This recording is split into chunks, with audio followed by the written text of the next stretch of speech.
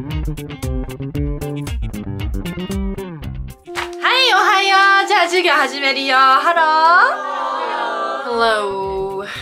よし、いいね。OK、じゃあみんなで How are you?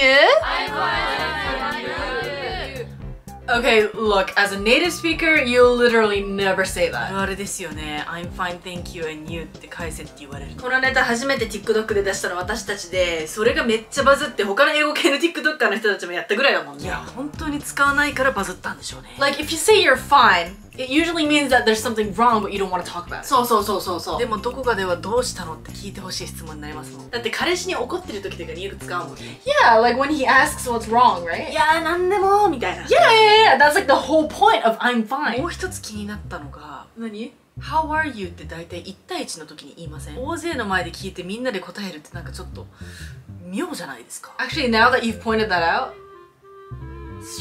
ああ、I'm fine の合唱的な。I'm fine, choir? Dude, I don't want to be part of that. いやでももう遅いよ。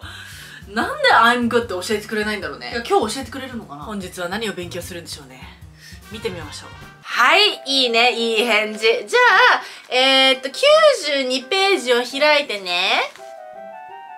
はい、じゃあ、 repeat after me. Wait Wait I just noticed something 何？Did you notice that? ええ気づきました何何何何何？英語の授業なのに92ページ開いてだったりとかいいねいい返事も全て日本語なのに repeat after me だけ英語なんですよ確かに Yeah, that's like really strange. Like either stick to Japanese or English, man. なんでいつもそれだけ英語なんだろう言いやすいからじゃないですかね Really?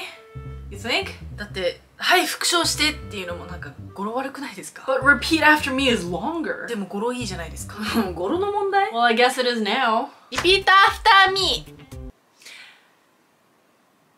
テスト返すよ。先生の意地悪。ごめんごめん。まあ、とりあえずテスト返さなきゃいけないから、テスト返すね。じゃあ、まず、えー、安藤さん。はい、じゃあ、井上くん。はい、江戸川くん。はい、えー、さぎり。ありがとうございます。今度こそいい点数取れたかないや期待しない方がいいですよどうせ理不尽に点数引かれるんですもん Yep. Just when you mentioned it.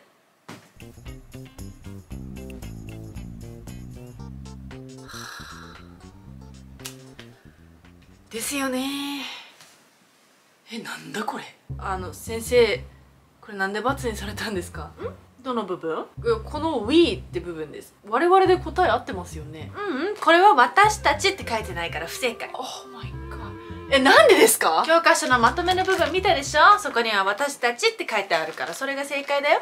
今回も理不尽ですね。私たちの役が We ってだけで罰にされるのって。え、いや、いやいやいやいや、我々でも合ってるでしょ。Yeah, there's no fixed meaning for this. いや、仮によ。仮に私たちが男だったとして、俺たちって書いたら罰にされるってことだよ。おそらくそうですねやば。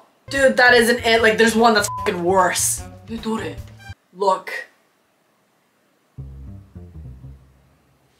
じゃあこれはなんで不正解なんですか？これ？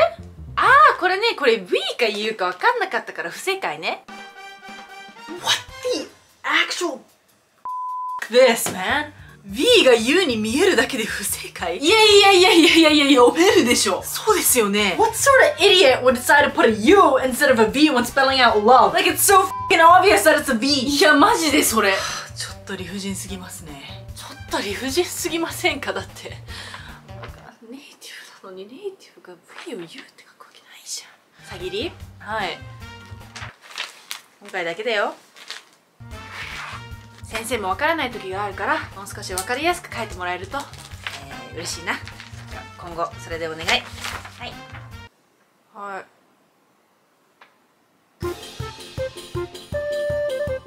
本日のご視聴ありがとうございます。ぜひ高評価とチャンネル登録よろしくお願いいたします。Follow me on Instagram, TikTok, and Twitter. ライブ分もやってます。では次の動画まで。